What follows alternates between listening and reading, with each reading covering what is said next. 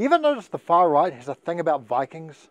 Such a thing that when the British anti-racist watchdog group Hope Not Hate wanted to investigate the far right, their tactic was to send an undercover Swedish man to go and drink mead with them. Think about it a little and it starts to make sense. I mean, the Vikings were a fierce warrior culture dating back to a time when men were men and Europe was European. By which they mean white, because of course they do. It's easy to see the appeal.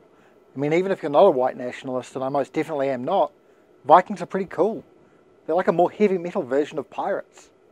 White nationalists can't have pirates though, because up to a third of them were black or mixed race. The reason for that is that pirate crews would capture slave ships in the Atlantic, and the human cargo would then become crew. In fact, it's thought that Blackbeard's ship, the Queen Anne's Revenge, was a former slave ship. Also, there were woman pirates, though for that matter, there were woman Vikings. By the end of this video, you'll probably agree with me that the far right shouldn't have Vikings either. In fact, there are groups in Scandinavia right now trying to reclaim their heritage from the far right. Now, my father recently had one of those ancestry DNA tests, and I found out that my genetic heritage is a lot more Scandinavian than I realised. So I guess perhaps I could be part of that reclaiming too.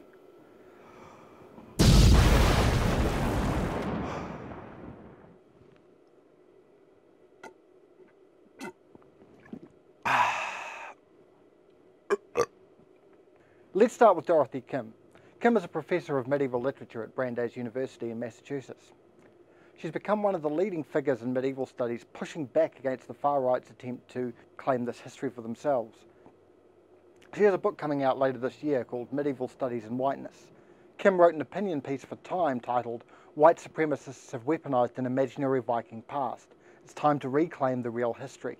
She points out that most of what we know about Vikings comes from popular culture rather than actual history, such as the popular TV show Vikings and Viking adjacent video games.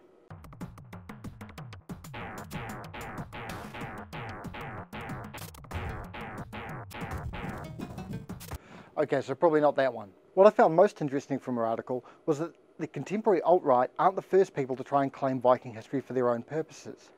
Kim writes about the Völkisch movement, a form of romantic German nationalism that emerged in the late 19th century. She mentions in particular Vilhelm Grønbech, whose book, The Culture of the Teutons, is available online in translation and has influenced a number of far-right neo-pagan groups. Grønbech imagined a Germanic genealogy stretching back through the Viking past and even further to the Roman senator Tacitus. Authors like Gustav Neckel, a German scholar of Old Norse, and Nordicist Bernhard Kummer believed that Germanic society was in decline thanks to socialists and Jews. These ideas influenced a later 20th century German nationalist movement. Have you guessed which one? The Nazis believed that the Germanic race was superior to all others and that the roots of European civilization were in the Nordic countries. They promoted the idea that the Nordic rune alphabet was the original European alphabet from which all other writing systems were descended from. This is totally inaccurate, by the way. While each rune is roughly analogous to a letter or a syllable, the Nazis attached specific meanings to some of them. For example, the S rune or the Sun rune was renamed as the Sig rune, meaning victory, and used as the symbol of Hitler's SS. The O rune uh, was said to represent Blut and Boden, or blood and soil. Remember the protesters chanting that at the Unite the Right rally in Charlottesville? As an aside, I'd recommend the video The Rising Tide Fascism and Extreme Music by another New Zealand based YouTuber, Conquest of Dread. Link in the description. That video looks at the way the far right has infiltrated the heavy metal scene, and in part talks about how some of these far right bands are using Norse symbols that I've talked about, as well as other pagan symbols, to dog whistle to their far right fan base. Vikings are pretty metal, but sometimes a rune isn't just a rune.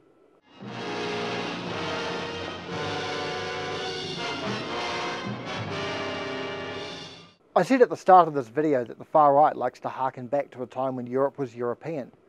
But Europe during the Viking Age wasn't as they imagine it.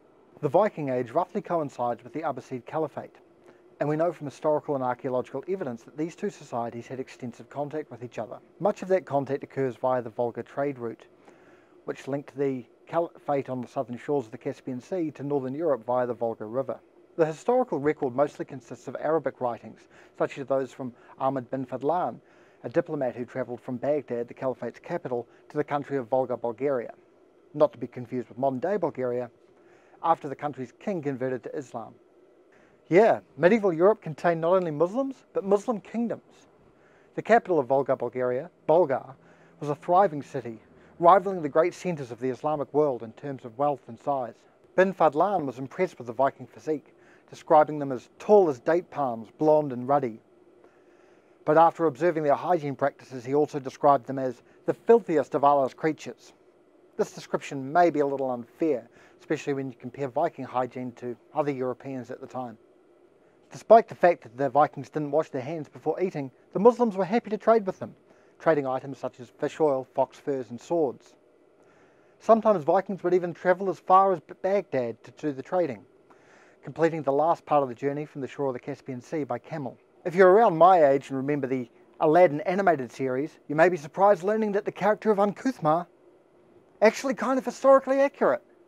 To get an idea of just how much trade was going on between Vikings and the Caliphate, 125 million silver dirhams have been found in Northern Europe. That's over 300 tons of silver coins.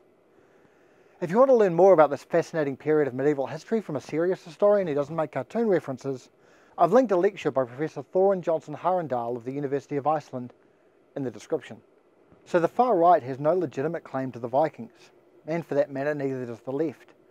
The terms left and right originate from where people would sit in the French Parliament in the 18th century. They're still useful terms today to broadly define where people align politically. But it's a useless anachronism to apply those terms to a society that existed a millennium earlier. If anyone has a claim to the Vikings, it would be those Scandinavians trying to reclaim their heritage from the Nazis and their ideological descendants. And I mean people living in Scandinavia today rather than people like me who may be genetically Scandinavian but have little in the way of a connection to Northern Europe. Scandinavian DNA is actually not that uncommon. In the 40 or so generations between the Viking Age and today, every single white person is descended from every successfully reproducing European alive at that time. Or to paraphrase Daniel Zadik of the University of Leicester, the answer to the question, Am I Viking? is, well, yes, but so is everyone else. And if any white nationalists want to jump on that fact as some sort of a justification for Europe as a white homeland, remember that those 40 generations also include North Africans, Mongolians, and people from the part of the world we today call the Middle East, who had travelled to and lived in Europe over the past thousand years. And of course, the Vikings didn't see themselves as part of a European or even a Scandinavian ethnic group, but as members of chiefdoms or petty kingdoms, more akin to clans or tribes. Perhaps talking about Scandinavian ethnicity? Just another useless anachronism. History is messy and complicated. If we're going to reclaim the Vikings, we may want to ignore some of the more unpleasant aspects. I haven't mentioned it yet, but some of what the Vikings were trading for those silver dirhams were slaves. And we may want to keep some of the fake stuff too. Like Norse runes as some kind of seminal European alphabet, the horn helmet is another relatively recent German invention, albeit a far less sinister one. We owe this helmet to the costume designer Carl Emil Doepler. He designed the helmet for the 1876 performance of Wagner's opera Der Ring des Nibelungs. Of course, no one watching this video was alive to see that performance, so most likely we know the helmet from a far more recent adaptation. I will do it with my spear and magic helmet. Your spear and magic helmet? Spear and magic helmet. Magic helmet? Magic helmet. Magic helmet. I would posit that there are the Vikings of history and the Vikings of fantasy. And indulging in a little fantasy is fine when it doesn't hurt anyone. If we want to keep the Vikings of Wagner and Asterix because it's fun, let's do it. But the far right fantasy of an all white Europe isn't harmless. An all white Europe can only be achieved through violence. This footage that you're seeing beside me is for the European far right nationalist group Generation Identity, alongside Canadian activist Lauren Southern. The group had chartered a boat to disrupt migrant rescue operations in the Mediterranean. As a result of these sorts of actions, people who otherwise may have lived will drown.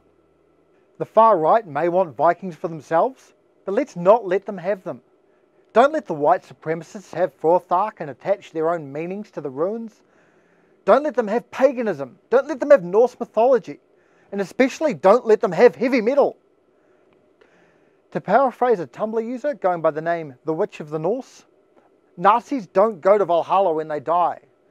The only place Nazis are going is into the claws of Nidhogg to be skinned and devoured. And that is metal.